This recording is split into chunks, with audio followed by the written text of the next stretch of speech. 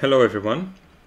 In the previous video we defined a couple of additional tests to the sign-up route and we came to the point where we were able to save a user successfully in the database. We also did additional setup for using the Mongo memory server in order to have the ability of testing the Mongoose functionality and our user models within the database or how, how it would interact with the database should the database be provided to our application. We still don't have this setup. We will worry about it later. But for now, in this video, what I want to talk to you about is about this little part here. So it does not allow saving a user with a duplicate email.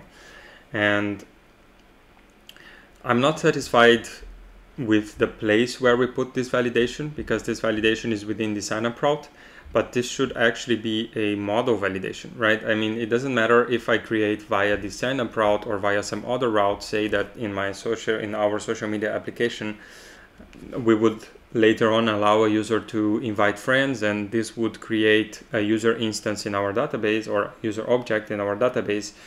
And this would not come from the sign up route, this would come maybe from the invite route or something like this. So then we would have to duplicate this logic into the uh, other routes and this is not good practice right? If we have duplicated logic we can probably extract it to a common common function. The point here that I want to make is that this is not really a route responsibility. It is not responsibility of the sign-up route. This is responsibility of the model. So the model itself should not really allow for duplicated users or users with duplicated emails. So let's create a test now to the model.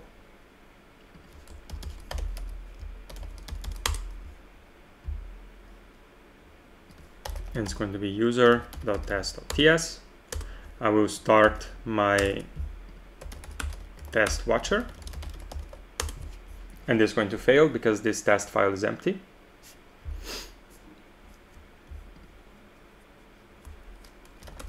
As expected. So it should not save a user if the email is already in the database. So it should not save a new user, right? Not just a user, but a new user if the email is already in the database. So here I start by defining some user info that is going to be relevant for us. It's going to be the email, this can be any valid email, so validity of email and password we are not very worried about here. Maybe we write, we write additional tests in the future, in uh, upcoming videos, but for the moment I just want to have valid information. Invalid information in the sign-up route I'm already testing, but again this would be nice. I think that the email test could also come to the model level because email has to be valid, doesn't matter where it comes from. And the password, it should be hashed of course. Um, but think about it, maybe it's a little bit more time consuming to write the test for hashing the password, but we will we'll dedicate time to it when when necessary. We have the the you, the sub the subtask for hashing the password, so I think that there we would write the tests for this uh, password. Okay, so here what I want to do is I want to await and this is an async function so I'll just mark this as async. And here I want to await user.create and I need to import the user. Let's import from index. And this is going to be with my user info. And then this is fine this should pass it's not a problem it should save this user.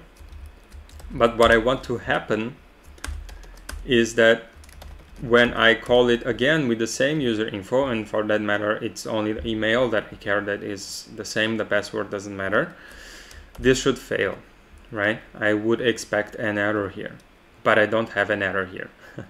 so how do I test this? Well, I think that we can start writing it here. So user let's let's say new user right? New user one this would be await and the const new user two. That's interesting. The tests are hanging for some reason. I'm just gonna kill them and start them again.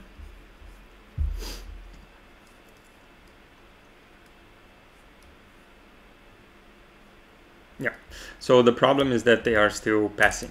And here i'll just add a few more uh, validation checks. So I expect new user one to be defined and I also expect new user one dot email to equal the user info dot email. Right, these are the two things that I'm expecting from my test. And the problem is here. Right, so this will still pass but what I want to do now is I want to make the test finally make the test fail so here I need to have an error right? I, I would like to have an error to be defined and I want to try this whole thing within a try statement. And I would like to catch the error and then I would assign this error to my previously defined error and I would expect error to be defined right so this is going to fail because the, the error is not going to be defined here. And now we are going to make this error be defined. And of course there are a few so there are a few issues around async and maybe you prefer another structure other than this but this will work just fine. For our purposes here if this is not scalable or if we notice that this has some limitations in further tests that we write then we'll change the structure but for now this makes it very clear. I'm trying to create a new user. I'm catching the error. The error is being assigned to this variable and I expect this variable to be defined. So for us to handle mongoose hooks right I want to execute something before the user is saved in the database. So the way that I define this in mongoose is I call the pre method and then I pass a stage before which I want to run this function, right? So I want to run this before I save the user in the database and it's going to be a an async function because I need to retrieve my user based on whatever I receive here and what I what I want to call your attention to is to this very important keyword. And this is why we are using the function normal function not an arrow function here. Is because mongoose passes the document or the current document to the keyword this. And if I use the arrow function I lose the context of this and I don't have access to the user document. So here I want to just make another comment yeah. So now you see that I have this next function and this next function or done whatever you name it. It should be called whenever if everything goes well. If something goes wrong I should throw an error. I, it's fine to throw an error and then um, simply this this uh, function is not going to be called and Mongoose is going to handle the error for us so I still have a problem, right? My test is still passing because I'm not doing any validation here. I'm not throwing any error. So the way that I will do my validation is I will await for user.findOne by email being this dot email. And now if my existing user is defined, then I want to throw a new error with email is already in the database. And this should be enough for us to make our test pass. Let's see what's going to happen. Exactly. Now the test is passing. So now I cannot create a user at the model level, right? I can still go a little bit more in in details here and let's maybe expect the error to be defined and I would expect my error.message to equal this message that I am writing here. Right, this message that I'm writing here. Let's see if this is going to pass. I think it will pass because I'm just throwing the error and then it should be exactly. So it's correctly parsed and it's correctly handled by Mongoose. And as you can see, the other tests are also passing. So I have no I didn't break anything else by adding this validation here. This of course is not going to be the final uh, shape of our of our error validation. I think in the next video we'll come back and we will do a little bit of refactoring because this is a very basic error. Maybe I want to to write a specific error for a model, so model validation error or something that I can then throw here. And this is going to have an additional, or this is going to have additional information for us. So my tests are passing here.